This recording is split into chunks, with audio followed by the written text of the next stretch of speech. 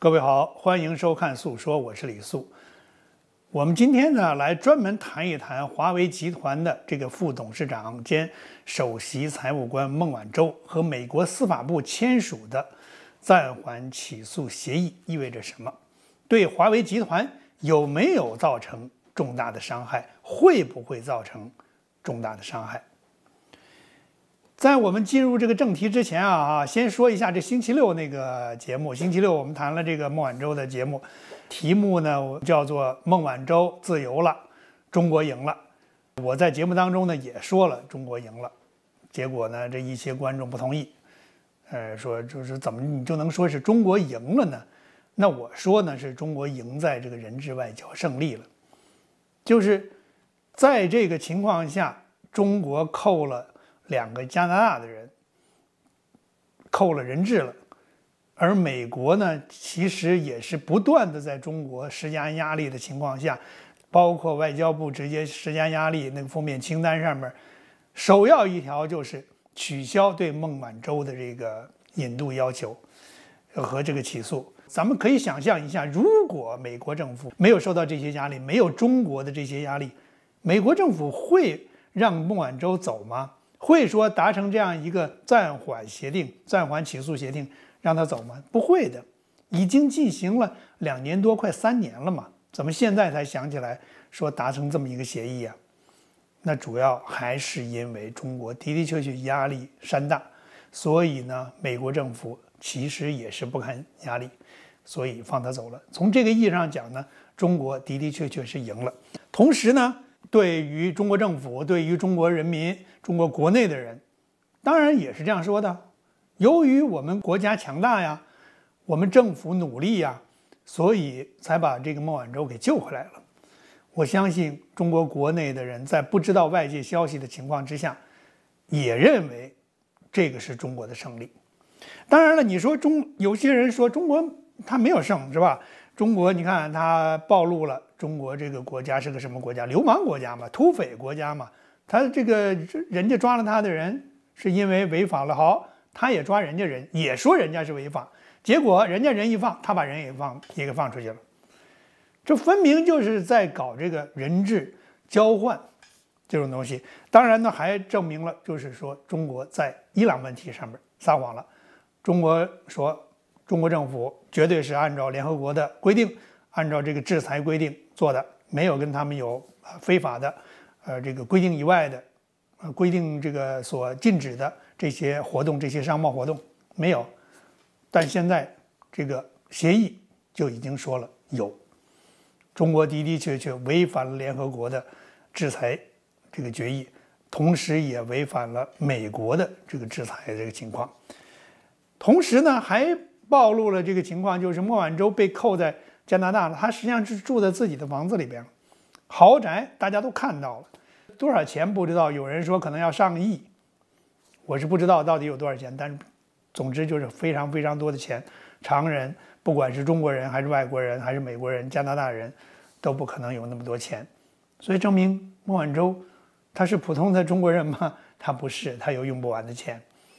还有他，由于在家里边，法庭跟大家规定，你必须花钱雇佣保安公司来帮助法庭来监督你，监督你不乱走，不逃出这加拿大。所以那些所谓的这个安全人员、保镖人员，看着是保护他，实际上是为了防范他跑。而这个保安公司的支付保安公司报酬的。是孟晚舟本人，就他支付这个钱，而不是法庭支付这个钱。所以人们也看到了，这孟晚舟有用不完的钱，一般人早就垮了。所以这些豪宅也好，保安公司也好，加上这个巨大的这个律师费，这都说明了这些问题。同时还暴露了华为公司和中国共产党、中国政府超长的关系。绝不是一般的关系，否则的话，中国政府直接最从这个最高层次上面来呼吁要这个释放孟晚舟，这个绝不是一般的中国人、一般的小民百姓所能够有的影响。小民百姓被哪个国家抓了，中国政府会花花这么大的力气，要要要这个那个国家的政府放人呢？所以这个呢，从这个意义上讲呢，那些人说，哎，你看看中国实际上是输了，中国这些东西也输了。当然也可以这样去说哈，这也是一种说法。那么有人说美国也，你说中国赢了，那美国输了吗？美国其实是输还是赢？现在呢还很难说。就是说，美国抓孟晚舟，要求引渡孟晚舟本身并不是。要羞辱中国政府，他目的是对着华为公司去的，而且这个不仅仅是一个贸易的行为，这是一个政治行为。就是说，华为威胁到了美国的国家安全。华为公司巨大，当然他做的这个事情，美国认为他威胁到了美国国家安全。所以呢，这个美国他有没有在这个地方赢呢？就是说，如果是中国政府得到羞辱，美国政府其实还没有赢，因为美国政府目的不在那个地方，目的是在华为。那么具体对待华为怎么样？一会儿我们会说到，现在还前途未卜，所以你很难讲美国政府是输了还是赢了。但至少在孟晚舟的问题上，美国政府迫于压力放人了。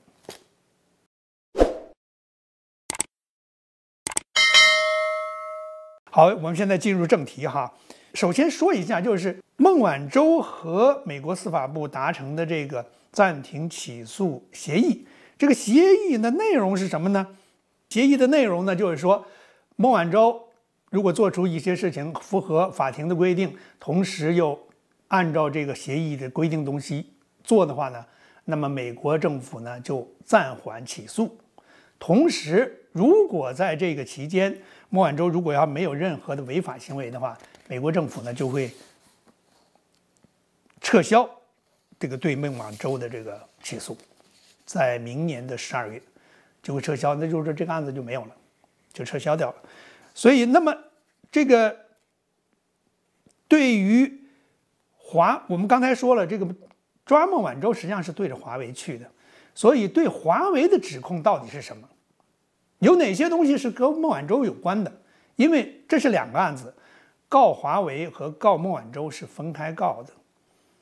但是呢，孟晚舟的被指控的东西实际上是包括在对华为的指控里边。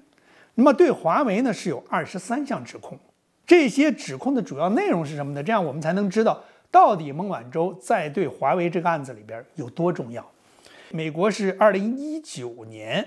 提出的这个诉讼，大家可能还记得，就是二零一八年十二月一号，孟晚舟呢被加拿大给扣住了，扣留在这个呃加拿大，不准他动。然后美国启动引渡他的程序，控罪提出提出这个诉讼呢是诉华为二十三项罪，主要的内容这不是所有哈，主要内容是什么呢？串谋银行欺诈，串谋电信欺诈。银行欺诈、电信欺诈。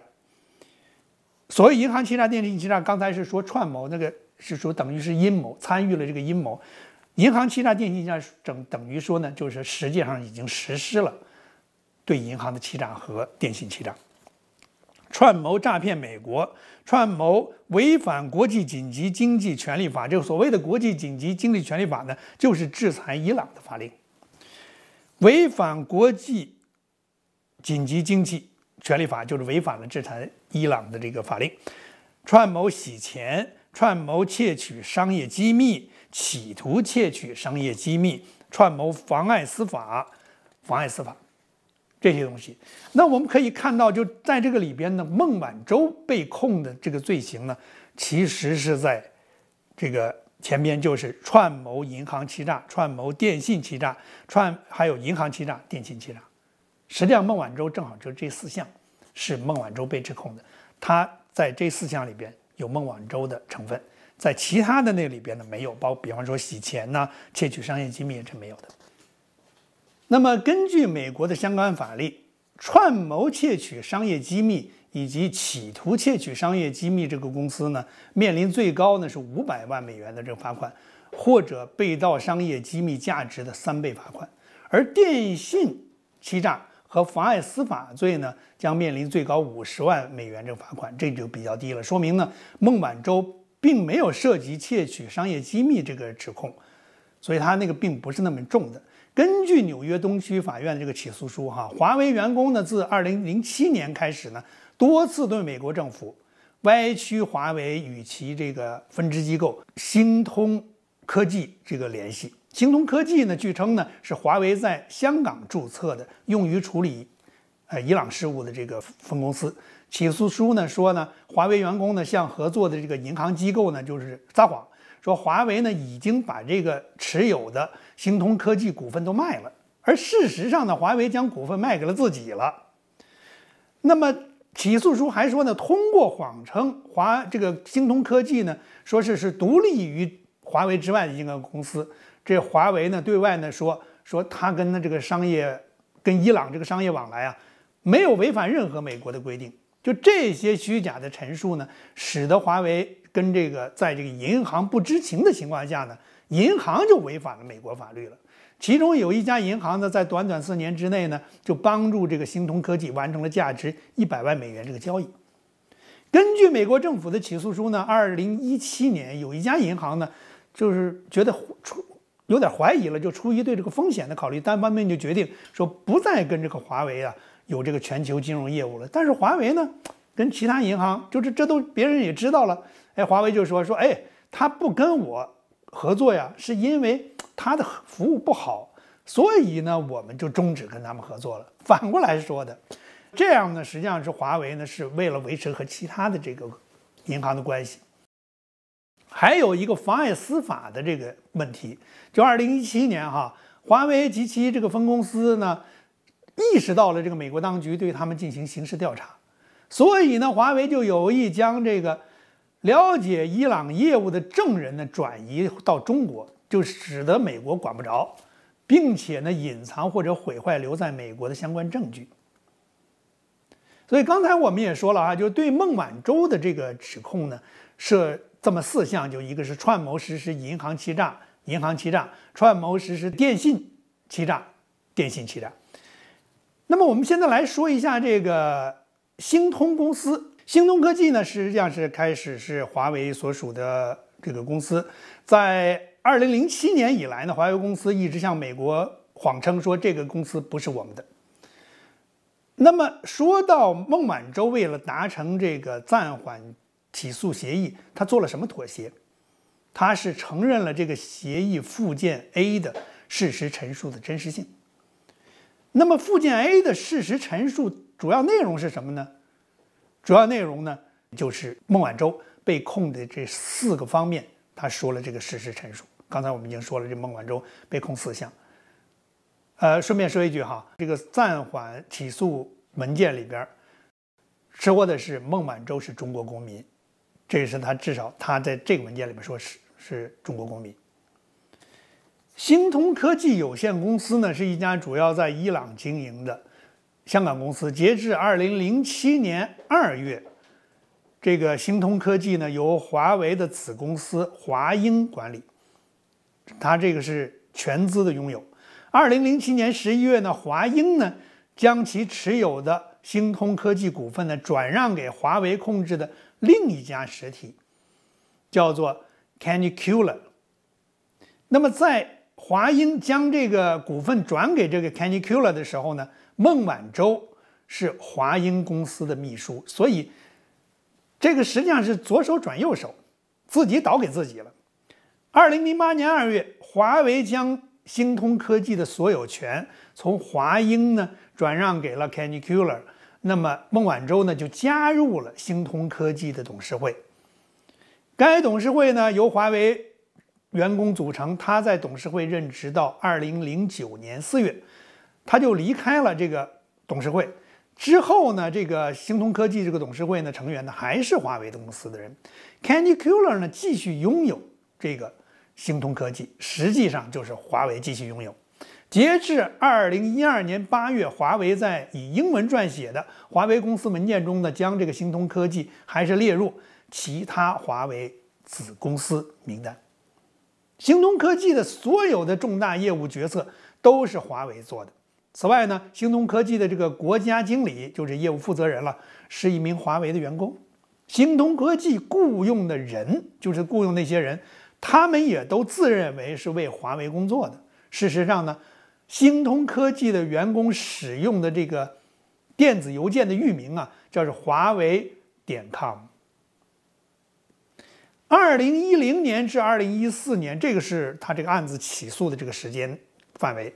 就是华为控制这个星通科技呢，在伊朗开展业务。相关时间内呢，华为员工呢与一家英国人力资源公司呢合作，在这个伊朗呢提供工程师。这个看来呢，提供的这个人可能是外国人，也可能是伊朗人，可能不是中国人，以支持这个星通科技与伊朗电信服务提供商的这个合作。那么，代表星通科技谈判和签署合同的。都是华为的员工进行的。那么，为了支付这些承包商的费用，华为呢从星通科技在亚洲这个银行账号上面，这个包括一家跨国的金融机构，实际上是汇丰银行，向英国人力资源公司的一系列的大约八十笔付款中，就付向这个人力英国这人人力资源公司呢支付了七百五十万七百五十万美元，交易呢是以美元。计价的，而且是通过美国这个银行进行清算，这就是违反了美国的法律，因为你不可以这样做的。制裁之下，二零一二年十二月和二零一三年一月呢，包括路透社在内的许多新闻机构呢就报道说，这个星通科技啊提出向这个伊朗出售美国计算机设备制造商的禁运设备，这可能违反了美国出口管制法，这美国设备嘛，并且华为与星通科技关系密切。在这个二零一二年十二月呢，华为呢就发了一个声明给这个路透社。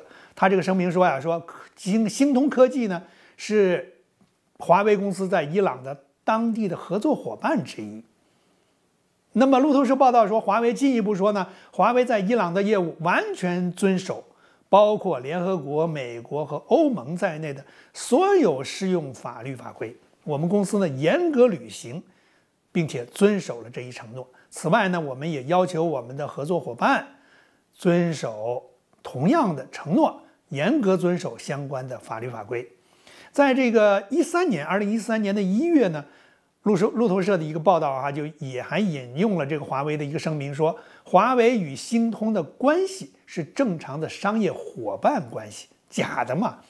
华为建立了符合行业最佳实践的贸易合规体系。我们在伊朗的业务完全遵守包括联合国在内的所有适用法律法规。我们还要求我们的合作伙伴，例如星通科技，做出同样的承诺。这个承诺根本是撒谎嘛？因为华为根本就是它是母公司嘛，它是星通科技的母公司，它跟星通科技完全不是合作伙伴的关系，这上下级的关系。所以这些文章、这些报道发表了以后，那么汇丰银行呢，就和其他的一些这个金融机构呢，就继续为华为提供服务，就华为这个为为这个星通科技提供服务，这包括这个清算美元。二零一三年初，华为呢这个向这个金融机构就表示说，星通科技呢只是华为在伊朗的这个当地的合作伙伴了。星通科技呢，并没有使用华为的这个账号进行伊朗的相关交易，这都是胡扯。星通科技的账号就是华为的账号。那么，为了应付这个新闻报道这个咨询，他就询问华为呢，就要求和这个汇丰银行的一名高级官员呢，就进行面对面的会谈。这个会谈呢，就是发生在二零一三年八月二十二号，这所谓的八月会议。当时孟晚舟呢就在香港会见了这个汇丰银行亚太地区业务的主管。会议期间呢，孟晚舟还做了一个 PPT 来解释这个情况。孟晚舟表示说，华为与星通的关系呢是正常的业务合作，正常的可控的业务合作。他把这个星通呢说成是合作伙伴，华为的业务伙伴和与华为合作的第三方，就是在伊朗的第三方。这些说法通通都是假的嘛？因为孟晚舟就在星通这个董事会待过嘛，星通科技肯定不是什么伙伴，也不是什么第三方，是华为的公司嘛，所以呢是他的员工就是华为的员工，他的公司就是华为。还有呢，就是说这个孟晚舟呢还向这个汇丰银行说的，说华为啊曾经是星通的股东，但是呢把这股权都给卖了，这不是胡扯吗？他卖给卖给自己了，卖给自己的另外一家公司了，卖给卖给他们自己的公司叫做 Canicular，这左手转右手的事儿啊，这明显在撒谎，就是他跟汇丰银行撒谎了。所以呢，这个孟晚舟跟这个汇丰银行这个高管就说呀，说华为在伊朗呢遵守适用的法律法规和制裁措施没有违反，华为呃这个和或者这个和这个华为合作的任何第三方都没有违反。出口管制的规定，所以这些也是都是撒谎，就是这样呢，使得汇丰银行和其他的一些金融机构呢，就是继续为华为从事这些被禁止的服务，包括银行服务。那么华为呢，实际上是隐瞒了华为和星通的联系关系，违反了美国财政部对伊朗交易和制裁的法规。那么此外呢，在相关时段内，哈。华为为了这个促进这个星通科技哈，通过在美国的这个金融机构呢，进行了价值大约一亿美元的交易，至少部分违反了美国法律，就是美国是禁止使用美国的这个银行跟伊朗打交道，禁止使用美国的设备出口到技术。出口到伊朗，这些华为都做了，都是很有问题的。所以有些人可能不明白，说为什么你说美国的法律怎么就这个就能管到中国？所谓的长臂管辖，是因为中国的华为使用了美国的银行系统，使用了美国的技术和产品，用于跟伊朗的贸易和交易。这个就是违反了美国的制裁，而并不是说你只要跟伊朗打交道，美国就就要制裁你。当然，这规定也还有这样一条，就是说任何人、任何的机构和伊朗去打交道的话，那美国就要不跟你打交道。也就是说，你在伊朗和美国之间，你只能选一个。你要么你选伊朗，那好，你就不要跟美国打交道；你要选美国，你就不能跟伊朗打交道。这个是你自愿的。这个不属于什么长臂管辖的范围。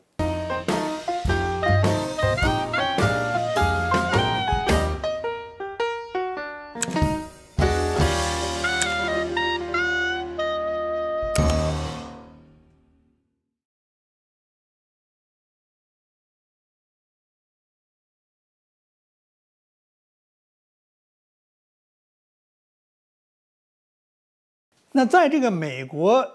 起诉，呃，这个孟晚舟的这个过程，这个这个时间段里边哈，发现了孟晚舟那个有一个电脑的这个档案，上面呢有有关华为和这个星通关系，说谈话要点，说你怎么遇到这种疑问，你怎么说呢？谈话要点在于什么呢？就是华为在伊朗的业务符合联合国、美国和呃欧洲的这个欧盟的法律和制裁。那么，华为与星通科技的关系呢是正常的业务合作关系。华为呢通过受监管的贸易组织和程序，要求星通承诺遵守相关法律法规和出口管制。关键信息呢，他说关键信息啊，过去是有星通的这个股份，现在没有了。星通是华为产品和服务的代理商之一，华星通呢主要是为代理华为而存在的，这都是撒谎。这个要点就是等于是一个撒谎要点。孟晚舟自己的档案里边写的很清楚，遇到了疑问，遇到了质询，你该怎么回答？撒谎的要点都写出来了，这是在这个都是描述在整个的这个事实陈述里边，就是这个附件 A，就是在这个暂缓起诉协定的附件 A 里边。事实陈述这这些内容，在孟晚舟和这个呃汇丰银行八月份开会以后呢，不久，华为呢这个应国应这个呃，他这个要求应汇丰的这个要求呢，提供了这个演示这个文件的英文稿，他安排呢就是说把这个英文稿的附件呢给了这个汇丰银行，是在二零一三年九月份给的。于是呢，这个汇丰银行就是一看啊，没有问题啊，你就决定继续啊这个和这个华为的关系。那么同时，其他的这个金融机构呢，也都继续和这华为呢保持各自的这个关系。这一些上述我说的这一些，就是孟晚舟承认的事实陈述。那么，孟晚舟承认这些事实，给华为造成重大的伤害了吗？或者说，会给华为造成重大的伤害呢？是是，也不是。为什么说是呢？就是说，这个是可以作为指控华为的重要证据的。就是说，你你欺诈、欺骗了银行，和伊朗有贸易，这些都是对这个华为公司起诉的内容。那么，孟晚舟对这些事实现在已经认定了，尽管他没有认罪，但是他认定这些事实陈述是真的。这就等于说，把这些东西，如果美国政府要去。这个起诉指控华为公司的话，那么这些就可以作为去打击这个华为公司的证词、重要的证据进入这个法庭程序的。所以这从这一点上来讲呢，的的确确这个是重要的，就是说他等于说自己人来说自己的这个企业、这个公司的的确确做了这些。违反制裁令的规定的事情，那这也是是重要的。说它不重要，不重要在哪儿呢？就是说，实际上美国已经掌握了足够的证据，因为汇丰银行实际上像现在已经是和美国进行合作，美国政府进行合作了。因为汇丰银行也怕制裁他，如果他是有意的、故意的去做这件事情，那等于说他也违反了美国制裁令。这样也要制裁他。汇丰银行为了撇清自己，就说了：“我们不知道，我们是在无意之中跟伊朗做了交易，无意之中违反了这些规定。那么我们为什么会无意之中做了这些事呢？是因为中国方面欺骗我们了，就银行欺诈了。所以实际上有汇丰银行做的这个证证词，其实已经就够了，足够定。”华为的罪了，不需要孟晚舟，所以从这个意义上讲呢，孟晚舟这个承认这个事实也不见得就那么重要，他不承认也没有关系。那么现在最重要的是，美国政府现在还是不是想象二零一九年一月起诉华为公司那样？要置华为公司于死地，这个是最重要的。就是现在，因为这在这个过程中，美国政府换届了，川普下台了，拜登上台了，所以现在的美国政府，拜登政府还有没有这个决心，有没有这个意愿，说像川普政府那样把华为给治死，让华为？消失掉，当然，川普也未必就是想要想让这个华为消失掉，但至少把华为要打个半死，或要让华为元气大伤，这个是想的。那么现在的这个美国政府，拜登政府有没有这样些同样的想法呢？这个我们现在还不一定知道。那我们现在来来看一下《华尔街日报》九月二十四号的一篇报道，他在这一天啊，九月二十四号呢，刊登了对美国商务部长。吉娜·雷蒙多的一个专访，雷蒙多呀，他说他将争取改善美国与中国的商业联系，在美中两国就国家安全和人权等问题上紧张关系日益加剧之际呢，他认为两国呢可以互利互惠。他计划呢率领美国的这个企业首席执行官代表团前往海外访问，包括访问中国，寻找商机，并讨论长期存在的贸易问题。他说呢，中国的经济政策呢，以低于市场的价格补贴出口产品，对窃取知识产权的做法呢视而不见。其实是视而不见的问题嘛，可能是主导吧。那么他说呢，这样呢使美国公司呢处于不利的地位。但是尽管如此，鉴于中国市场的规模太大了，美国呢必须与中国展开贸易。他说呢，这是一种经济现实。他还说呢，我实际上认为。紧密的商业往来呢，将有助于缓解任何潜在的紧张关系。这跟过去的老说法一模一样。搞好了贸易关系，其他都都 OK 了，都可以了。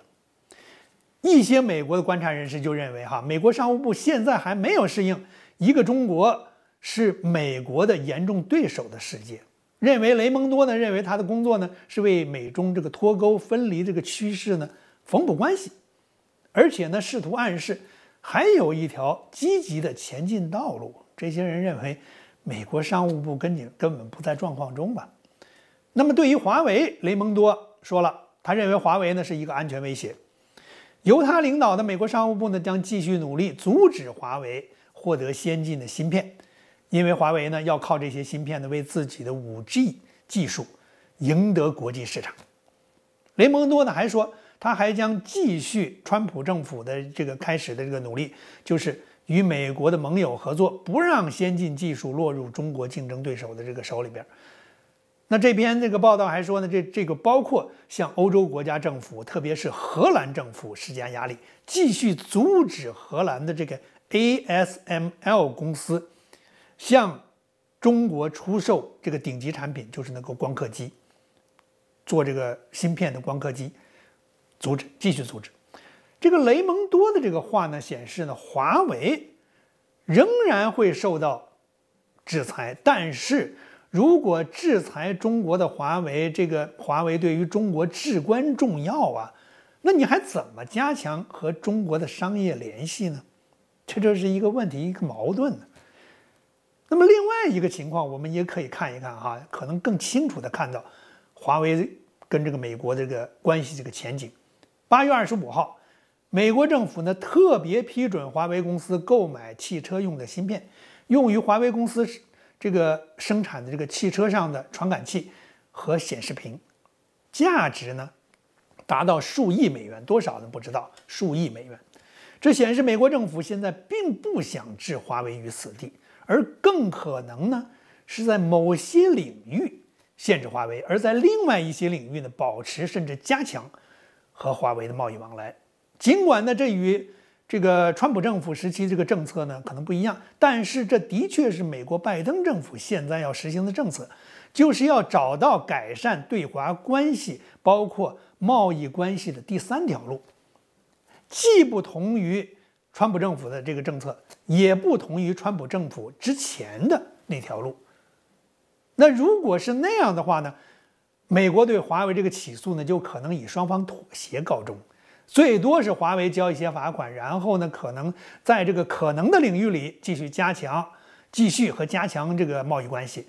至于说这对于美国来说是不是最好的结果，我想哈，美国人和我们的观众都应该记住：江山易改，本性难移。狼总是要吃羊的。我是李素，我们下次节目再见。